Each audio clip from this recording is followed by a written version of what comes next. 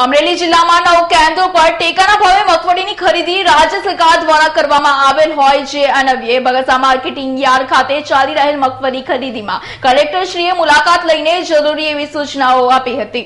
અમરેલી જિલ્લાના નવ કેન્દ્રો પર ટેકાના ભાવે મગફળીની ખરીદી રાજ્ય સરકાર દ્વારા ટેકાના ભાવે મગફળીની ખરીદી કરવાનો નિર્ણય કર્યો છે.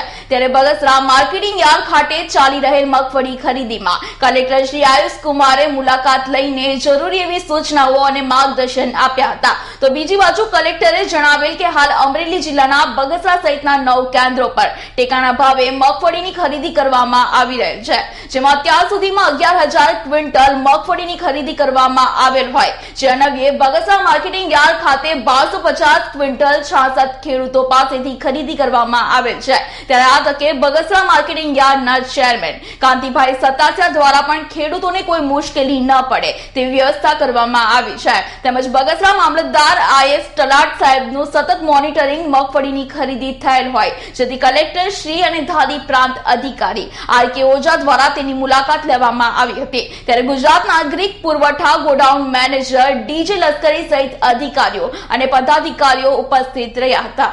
નવ કેન્દ્રો ઉપર મગફળીની ટેકાના ભાવે ખરીદી શરૂ થઈ છે. એમાં આપણે અત્યાર સુધી સાડા અગિયાર હજાર ક્વિન્ટલ જેટલો માલ તો ઓલરેડી આપણે ખેડૂતો પાસેથી લઈ લીધો છે. અને આજે હું બગસરા માર્કેટ યાર્ડની મુલાકાતે છું. અહીંયા પણ ખરીદી ચાલુ છે. અને લગભગ સાડા બારસો ટન જેટલું મેટ્રી ક્વિન્ટલ જેટલો માલ આપણે છેલ્લા ચાર દિવસમાં અહીંયા ખરીદેલું છે. અને આજના દિવસમાં લગભગ પંદરસો ક્વિન્ટલ હજુ માલ એ લોકો ખરીદશે. અત્યારે લગભગ વીસ ખેડૂતોનો માલ અહીંયા ઉતરી ગયો છે. અને બીજા બે ચાર ટ્રક લાઇનમાં ઊભા છે.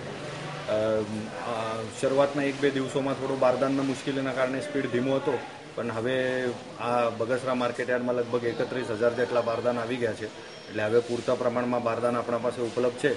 જરૂર પડશે તો આપણે એકાદ બે વધારાની ટીમ પણ મૂકીશું, જેથી પ્રોસેસ આખી ઝડપથી થઈ જાય.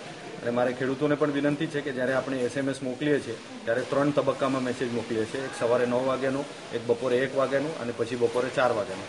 એટલે એ જ ટાઈમે ખેડૂતો આવે. ઘણી વખત એવું બને છે કે દિવસના સાઠ મેસેજ કે સિત્તેર મેસેજ મોકલ્યા હોય, તો સિત્તેરે સિત્તેર ખેડૂત સવારે નવ વાગે આવી જાય. અશોક મણવરનો રિપોર્ટ અમરેલી.